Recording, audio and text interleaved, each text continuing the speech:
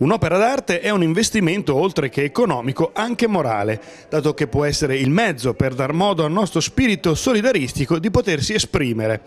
Acquistare un'opera d'arte di un artista locale per abbellire il proprio spazio vitale e contemporaneamente finanziare i progetti didattici di una scuola del territorio non è niente di più facile in questo periodo. A Palazzo Bracci Pagani, nella sala Ipogea, in questi giorni è stata allestita una mostra di artisti locali che hanno messo a disposizione il loro talento a costo zero per la scuola di Bellocchi. C'è stata una generosità spettacolare da parte degli artisti fanesi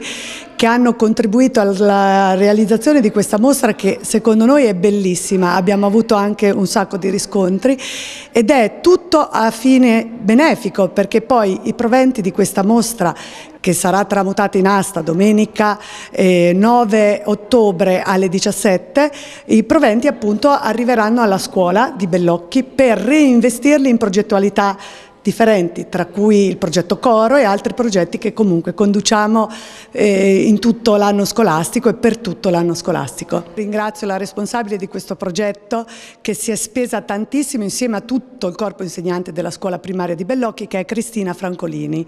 Orario e tempi del, di quest'asta? Allora, eh, l'asta si terrà domenica 9 ottobre alle ore 17 eh, ad, fino ad esaurimento della merce, dei quadri, eh, per cui vi invitiamo veramente a partecipare numerosi perché oltre alla bellezza c'è anche il, il fine eh, di, di, aiutare una scuola che comunque negli anni progetta e produce progettualità interessanti.